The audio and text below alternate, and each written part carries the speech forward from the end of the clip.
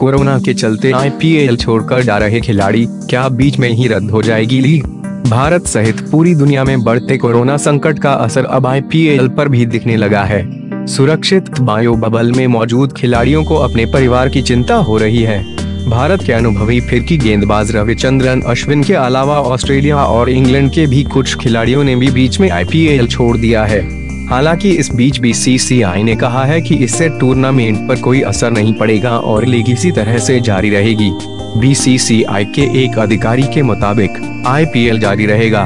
कोई छोड़ना चाहता है तो उसमें कोई हर्ज नहीं, साथ ही उन्होंने कहा कि अगर दिल्ली में स्थिति और खराब होती है तो हमने इंदौर और हैदराबाद को विकल्प के रूप में रखा हुआ है। वहीं क्रिकेट ऑस्ट्रेलिया और ऑस्ट्रेलिया क्रिकेटर संघ ने संयुक्त बयान में कहा कि वे आईपीएल में शामिल अपने क्रिकेटरों कोच और कमेंटेटरों के संपर्क में हैं और स्थिति पर नज़र रखे हुए हैं। इंग्लैंड और वेल्स क्रिकेट बोर्ड के एक प्रवक्ता ने कहा है कि हम अपने खिलाड़ियों से लगातार संपर्क में हैं।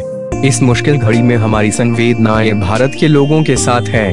इस बीच के के मेंटर डेविड हसी ने कहा है कि आईपीएल में शामिल कुछ ऑस्ट्रेलियाई खिलाड़ी नर्वस हैं कि भारत में कोरोना मामलों के बढ़ने की वजह से वे स्वदेश कैसे लौटेंगे। ऑस्ट्रेलिया के पूर्व क्रिकेटर हसी ने सिडनी मॉर्निंग हेराल से कहा है कि, हर कोई थोड़ा नर्वस है कि ऑस्ट्रेलिया वापस किस तरह जाएगा। हसी ने कहा कि आईपीएल के लिए कड़ा बायो बबल बनाया गया है, किंतु भारत की वर्तमान स्थिति को देखकर खिलाड़ियों का चिंतित होना स्वाभाविक है।